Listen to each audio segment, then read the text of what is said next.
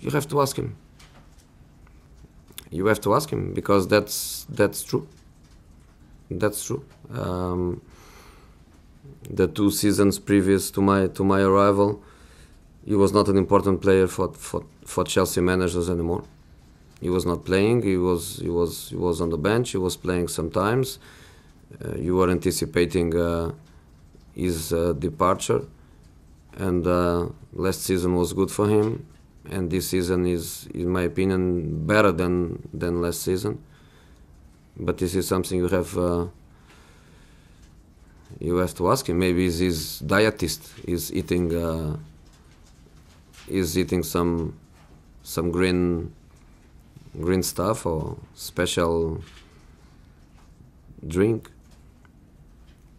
No, no, and uh, I'm happy with uh, with all he's doing. And um, when I told yesterday that this performance was probably the best, maybe it's too much, but for sure was one of his best performances for Chelsea because it was so clean. Uh, you know, not one, not one mistake, not one fall. Uh, clean, using the ball, passing the ball well, defending his area, but at the same time giving cover, giving cover behind um, Cahill and Azpi. For me, was really a phenomenal performance. I don't like to compare generations. It's something in football that I think is very, very unfair. So when we go and we try to compare a, a player of the 60s, you know, this generation, I think so. I think so. Mm.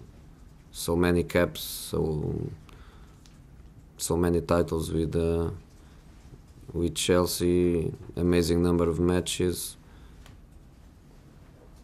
a good goal scorer for a central defender, and uh, teams well organized where he is playing. It's a bit easier. I have no idea. There's no idea. Maldini, Zanetti, there are uh, a few but every player is a player, and uh, I don't know. He has one more year contract, so next year he's playing.